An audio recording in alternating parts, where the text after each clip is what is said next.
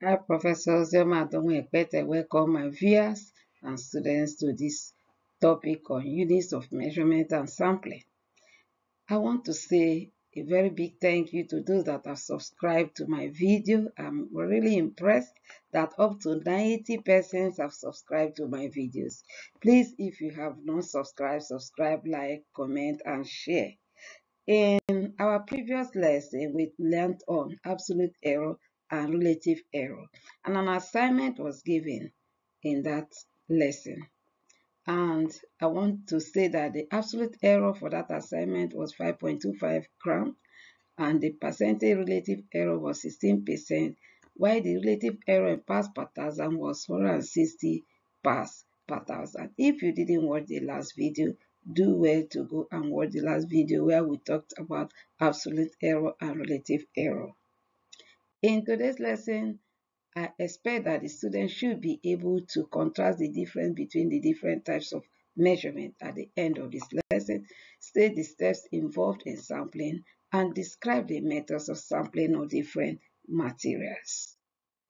We are looking at the types of measurement, consistent types, units of measurement, and units of expression. There are different types of measurement.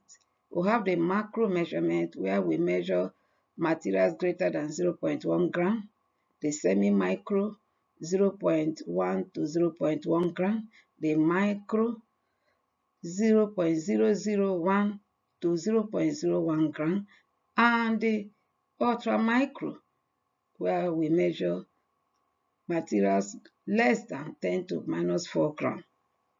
We have the consistent types. Consistent types can be represented in percentage. The major constituents where we are looking for 1% to 100% is classified as a major constituent. The minor constituent, when we, when we are looking for materials of 0.01% to 1%. The trace constituent less than 0.01% trace in 1.1 parts per billion to 1 parts per million. And then the ultra trace where it is less than 1 parts per billion. We have the units of measurement. These different measurements are represented in different units, like in grams, in percentage of parts per hundred, where we measure macro, parts per thousand or milligram, where we measure semi-micro, parts per million and parts per billion when we are measuring micrograms. These are the units of measurement. And we have the units of expression. Parts per thousand is 1 gram in 10 raised to power 3 grams. And we can be, it can be represented a gram per kilogram, milligram per gram, gram per liter, or milligram per mil. Parts per million, where we are looking for micro substances, is 1 gram in 10 raised to power 6 gram, which is actually 1 milligram per kilogram or 1 microgram per gram or 1 milligram per liter or 1 microgram per mil. So we are saying here that it is equivalent, 1 ppm is equivalent to 1 milligram per liter or 1 milligram, 1 microgram per mil.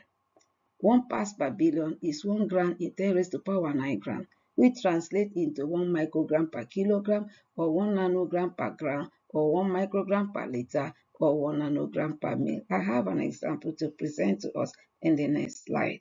For example, 1, we say express the concentration in parts per million and parts per billion if a 2.0 gram plant tissue was analyzed and found to contain 2.5 microgram zinc. In this question, we are told that the plant tissue contains 2.0 gram and that the concentration of zinc was 2.5 microgram per zinc. So you represent your ppm as weight per weight in that measurement, microgram per gram, which also represent parts per million. The 2.5 microgram per zinc, we place it up, divide by the 2.0 gram, and you will get 1.25 gram microgram per gram. This unit is equivalent to 1.25 parts per million. And we are told to represent this in parts per billion. In per billion, it is represented weight per weight, nanogram per gram. And because microgram, we'll convert that microgram to nanogram. And therefore, we will multiply it by 10 raised to power 3. And that is why we have the 10 raised to power 3 there.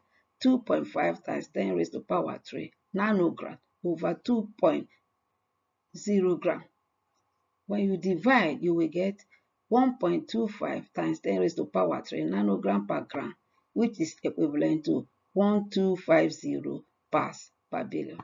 That's an, a way to express your concentration in ppm and ppb. I've given you assignment two.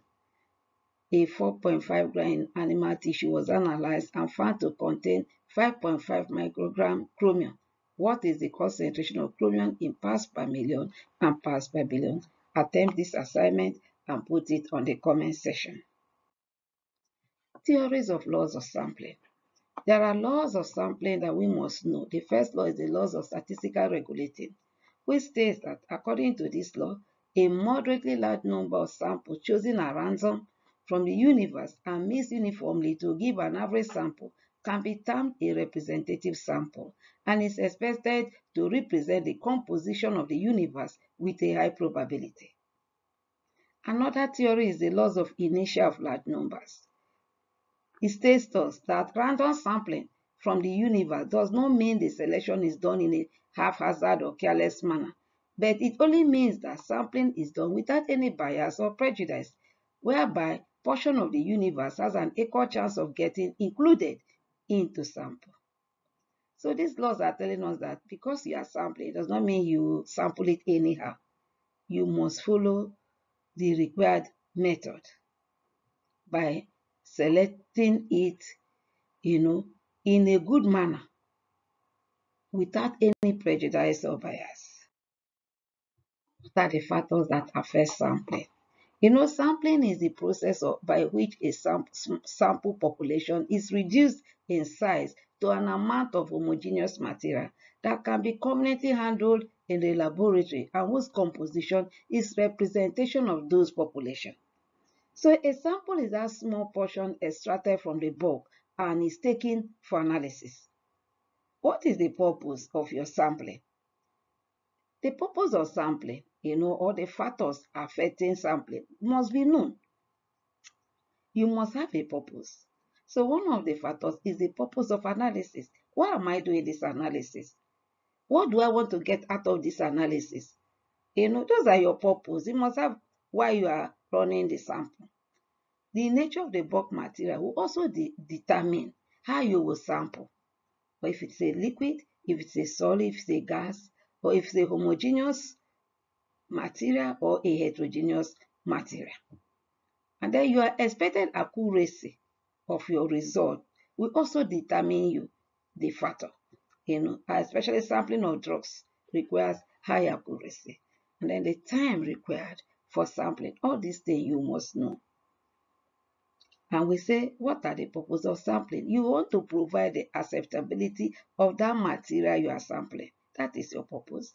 You want to detect the contamination of that sample and you identify the material and estimate the material present in your eh, sample. You know, sampling a homogeneous material, liquid and gases. A homogeneous material is a mixture in which the composition is uniform throughout the mixture. For example, sugar in water and salt added to water and also blood. Example of homogeneous material. Once we say we can use a grab sampling, that is one sample taken at random that can be used for homogeneous material. For example, if we want to analyze tap water, we'll allow the tap to run for some time, maybe five minutes, and we'll clean the mouth of the tap with cotton wool before filling the container, before collecting our sample. For other liquids, we stir well to ensure homogeneity before collecting the sample. And for gas sample, we flush the sampler and sample container before we collect the sample. For pure liquids, we pour out the needed sample or we dip the sampler into the middle and collect the sample, making sure that both the sampler and the sample container are chemically clean. a little quantity of the liquid is used to rinse the sampler before taking the sample. And we sample with a small thief, a device for obtaining aliquots at different levels, not just straight, but also in diagonal. We sample salt with a clean spatula. Know, our laboratory salt we collect with a clean spatula. And for deliquescent materials, materials that always uh, hydrate, taking water, we have to dry in an oven at 105 degrees centigrade to remove absorbed water completely and be sure of the weight of your sample before you sample. You know, these are examples for a steel or metal. We drill in a hole in a diagonal manner and collect the chippings which are combined for analysis. How do we collect a gross sample? You know, for a gross sample, we identify the problem. We collect a gross sample by reducing the gross sample to a laboratory size sample. How do you reduce it? You put all your collected samples together and make a cone. You flatten and divide sample into four equal parts and you collect opposite sides and add together. You continue that division until you have a, a smaller sample that you can call a representative sample that is useful for your laboratory analysis. It's a difficult process, but every student must learn it. Sampling a heterogeneous material can be very, very tasking because they are not all the same. Heterogeneous material, that material that doesn't have a uniform consistency throughout. For example, oil in water or a chocolate with granite and almond. They are not the same thing.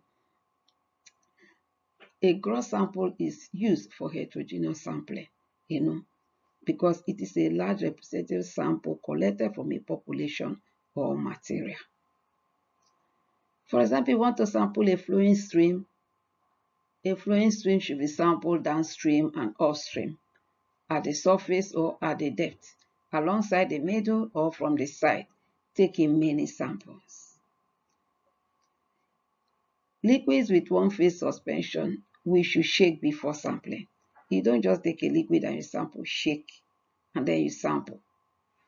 If you have two phases, you can sample them separately to get very good results.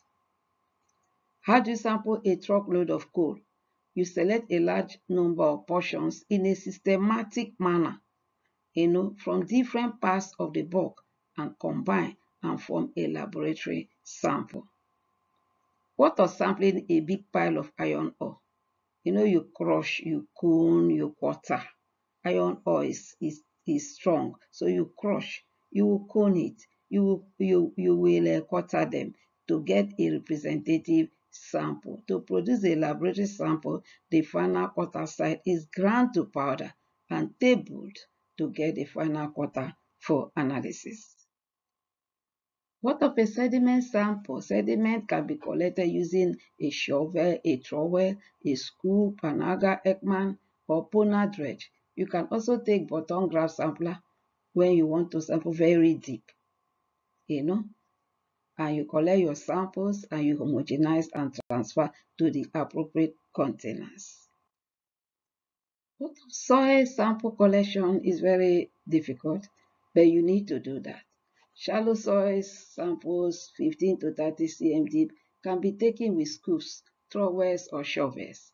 And then stainless steel can be used when sampling for organic and high-density polypropylenes.